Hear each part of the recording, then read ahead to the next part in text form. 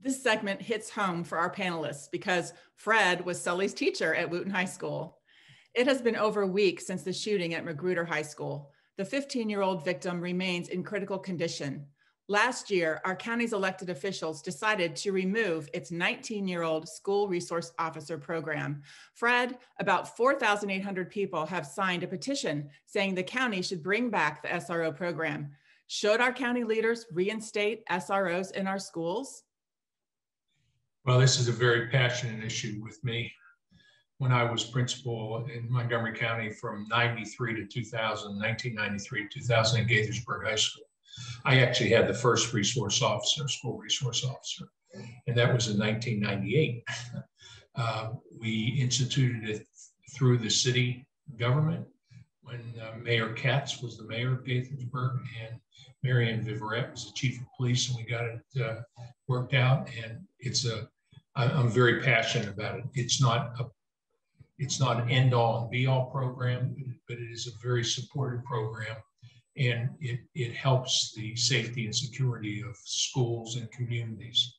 The school resource officer is not in a building to arrest students or to harass them. He is there as a resource, uh, he or she, excuse me. And uh, uh, he, the resource officer, did such things as teach classes and, and work with students in counseling and, and all a variety of, of different things. He was there as a, in my case, he was there as a presence. Um, the Magruder, uh, could the Magruder shooting have been avoided? Who knows? There are so many more issues dealing with guns, and we're going to get into that, I know, during our discussion.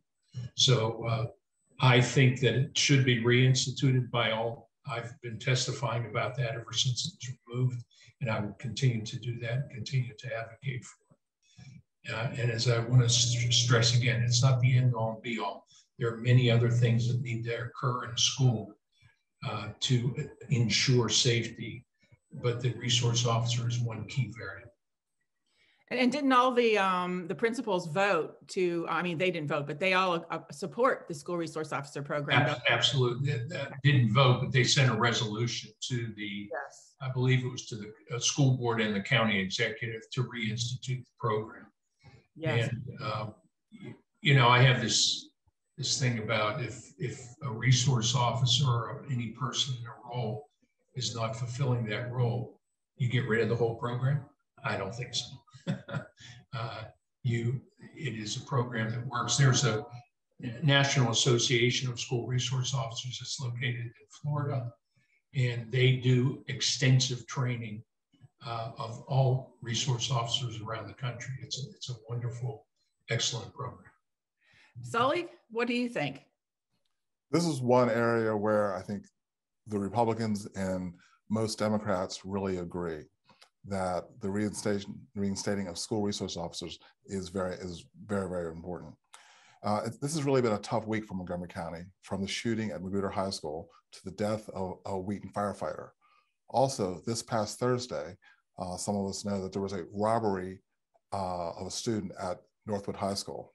And I, our thoughts and prayers go out to these families, and I believe several GoFundMe accounts and other programs have been set up to help the victims. But let's not forget the police, firefighters, and other first responders that put their lives on the line every day to protect us. That's why Republicans back the blue because we owe them so much. Uh, the, the, violent crime in Montgomery County has really increased at an alarming rate, not only in schools, but also the rate of homicides, armed robberies, carjackings, and home invasions is spiking. And I guess we can't understand the rhetoric to defund or reimagine policing. I mean, what, the, what is the county council really thinking here? I mean, what does that even mean? So yes, uh, I think we, Fred and I would definitely agree that school resource officers need to be back in school. Not, on, not that the school resource officers are the only solution to school violence, but they are an integral part of reducing school-based violent crime. Also, one last point, even after the Magruder High School shooting, the county executive said SROs are not coming back. He fails to mention that SROs provide a preemptive deterrent. They work to develop the rapport with the students. Also, that the county's budget eliminated five SROs from the schools, eliminated five uh, police officers from patrol investigations unit, and also eliminated uh, a traffic compliance officer from all six districts uh, for a savings of 500, Was like $580,000. But they did add an inmate advisory council to the jails. Uh, I think that was about $540,000. And I would suspect that most citizens would rather see our tax dollars go towards the safety of our children and in our homes. The, the bottom line is we need different leadership in the county now to turn this around. Okay, Fred, um, Fred, I need to cut you off because we need to get to the next topic here on the ghost gun issue. Um, Fred, um, this uh, the person who shot this this young student uh, purchased a, a, ghost gun online. Do you think ghost gun laws should would stop future incidents in our schools? Uh, I don't. You don't have enough time to hear my whole routine on this one.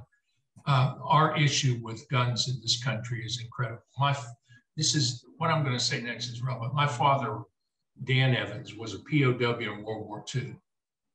And he was captured and, and fortunately and survived that, obviously.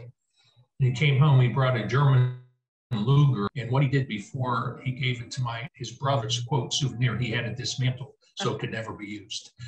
That's what I learned about guns from my father. I our our rhetoric about the Second Amendment and uh, all that. This ghost gun issue, to answer your question specifically, is is just another example of our uh, uh, extensive use and misuse of weapons in this country. It is outrageous. Do you have anything to add, Sully? Uh, I think that the proposed legislation is clearly wrong as it violates the Second Amendment. Um, to prohibit anything that could possibly be construed as making a gun. Uh, what we're missing is that much that the the real issue here is not the gun. The gun is just a tool. The real issue is the person using the gun. The violence perpetrated with guns is symptomatic of the lack of direction and respect for authority. That's respect for police, respect for educators, and the respect for life. We need to change attitudes, not legislate symptoms. Thank you, Sully.